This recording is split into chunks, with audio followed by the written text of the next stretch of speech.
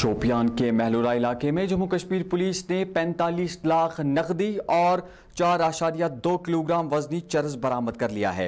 SSP Shopian Tanushree ने बताया कि पुलिस ने मुसदिका इतला मिलने के बाद फारूक अहमद कोका के घर पर छापा मारा, जिसके नतीजे में 45 लाख नकदी और चार किलोग्राम से जायद चर्च को बरामद किया गया। एसएसपी के मुताबिक कुछ नकदी को गाय के शड से और कुछ नकदी को मकान व दुकान से बरामद किया गया। उन्होंने कहा कि मंशियात फरोशों के खिलाफ पुलिस सख्ती से निपटेगी और जो भी मुलविस पाया जाएगा उसे कैफर किरदार तक पहुँचाने के लिए पुलिस हर मुमकिन कोशिश करेगी। उन्होंने वालदेन और इसतजा पर भी ज़ोर दे, देते हुए बताया कि वो नौजवानों बिलखसूस तलबा को मंशियात से दूर रखने के लिए अपना कलीदी रोल अदा करें। जैनापुरा पुलिस को आज सुबह सुबह खबर मिली थी कि फारूक अहमद कोका नाम का एक रेसिडेंट है मेलूरा का। ये चरस का काम करता है और यही खबर थी कि इसके घर पे चरस और पैसे रहें।